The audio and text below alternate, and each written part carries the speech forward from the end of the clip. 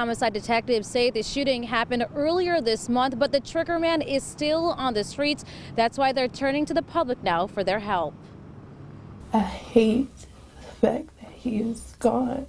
A daughter in tears after her father was shot and killed in front of his own home on Detroit's northeast side. His smile, his presence alone just can make anybody feel happy. Police say 41 year old Terrence Scott was standing on the front porch of the home on the 3400 block of Beals just before 10 p.m. on October 6th when someone in this dark sedan rolled up and started shooting. He was clearly the target.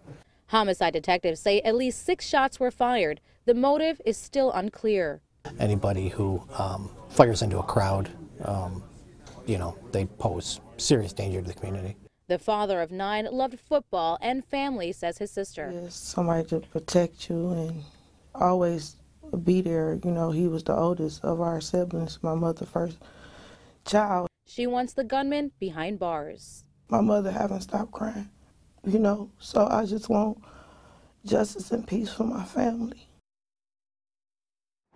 And if you have any information at all about this deadly shooting, you're urged to call the Detroit Police Department's homicide tip line or Crime Stoppers at number 1 800 Speak Up. Loved ones also telling us tonight that they are also offering a cash reward for the right tip.